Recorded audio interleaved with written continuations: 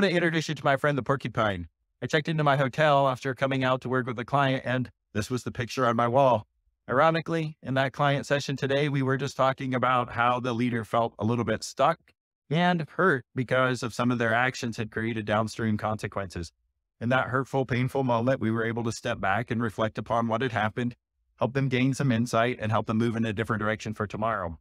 Yet, here's what it makes me think of most. There are two ways that humans learn. One is sometimes through painful experience, and that can be good for us as long as we take time to process what we learned and make sure that we don't do that again. The second way leaders learn is often through purposeful, intentional insight creation. And people often ask me, what does coaching provide? And to me, that's what coaching provides. That spot on your calendar on a regular recurring basis when you can get above the clouds, you can preventatively get to a different outcome rather than trying to go through the painful, hurtful moments and learning from those.